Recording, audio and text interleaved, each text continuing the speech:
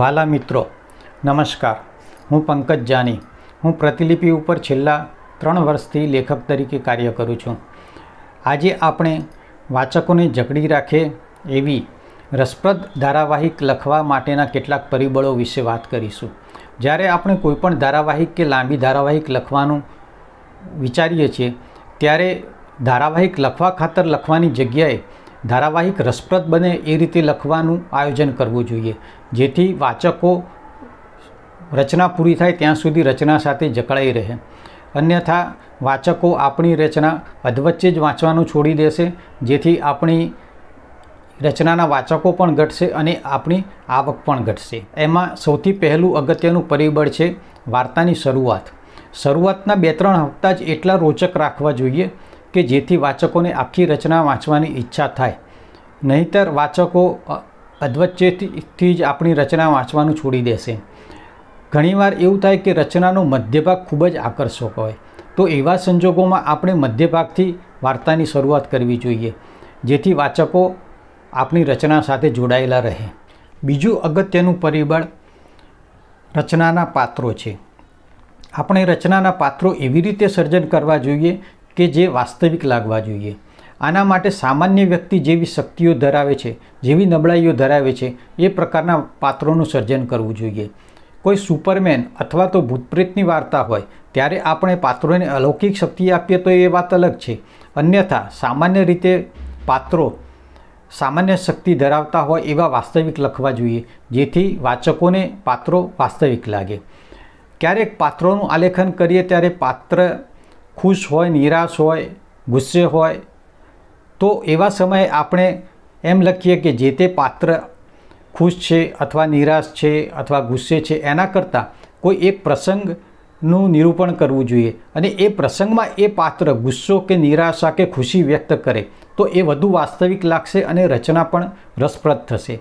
આના માટે આપણે આપણી આજુબાજુમાં અને આપણને મળતા લોકોનું સતત નિરીક્ષણ કરતા રહેવું જોઈએ. કે જેથી અલગ અલગ લોકોના વર્તન વિશે આપણે જાણકારી મેળવી શકીએ અને એ અનુસાર નિરૂપણ કરી શકીએ. જ્યારે આપણે કોઈ વિલનનું પાત્ર સર્જીએ છીએ, ત્યારે આપણે એનું વર્ણન એવી રીતે કરવું જોઈએ કે જેથી વાચકોના મનમાં એની એક છબી ઊભી થાય અને એને આધારે વાચકો એ વિલનને ઘૃણા કરે અથવા ક્યારે એના માટે સંવેદના પણ વ્યક્ત કરે. આમ રચનામાં પાત્રોનું આલેખન ખૂબ જ વાસ્તવિક હોય એનું ધ્યાન રાખવું જોઈએ. ત્રીજું અગત્યનું પરિબળ છે વાચકોને હૂકથી જોડી રાખવા. પહેલાં પંદર હપ્તા પ્રતિલિપિ ઉપર ફ્રી હોય છે. આથી દરેક વાચક પંદર હપ્તા તો વાંચે છે, પરંતુ પંદર હપ્તા દરમિયાન જો કોઈ અગત્યના પ્રશ્નો કે આતુરતા જગાવે એવા પ્રસંગોનું નિરૂપણ ન થાય, તો વાચકો પંદર હપ્તા પછી રચના આગળ વાંચશે નહીં. આથી આપણા વાચકો પણ ઘટશે અને આવક પણ ઘટશે. આથી આપણે પંદર હપ્તા દરમિયાન એટલા એવા પ્રશ્નો સર્જવા જોઈએ અને એવા પ્રસંગોનું નિરૂપણ કરવું જોઈએ કે જેથી વાચકો રચનાના અંત સુધી જોડાયેલા રહે અને ધીમે ધીમે એક પછી એક પ્રશ્નનો એમને જવાબ મળતો રહે અને રચનાના છેલ્લા હપ્તા સુધી એ વાચકો આપણી રચના સાથે જોડાયેલા રહે. ચોથું અગત્યનું પરિબળ છે વાર્તામાં વર્ણનાત્મક ભાષાનો ઉપયોગ. આપણે વર્ણન એવી રીતે કરવું જોઈએ કે જેથી વાચકને એવું લાગે કે પોતે ઘટના સમયે જે તે જગ્યાએ હાજર હતો, જે તે ઘટનાનો પોતે સાક્ષી છે. આ માટે આપણે ઘટના પેટા ઘટનાઓ સાથે સંવાદોનું મિશ્રણ કરી અને એક રોચક અને ખૂબ સરસ પરિસ્થિતિનું નિર્માણ કરવું જોઈએ કે જે વાચકને આકર્ષે.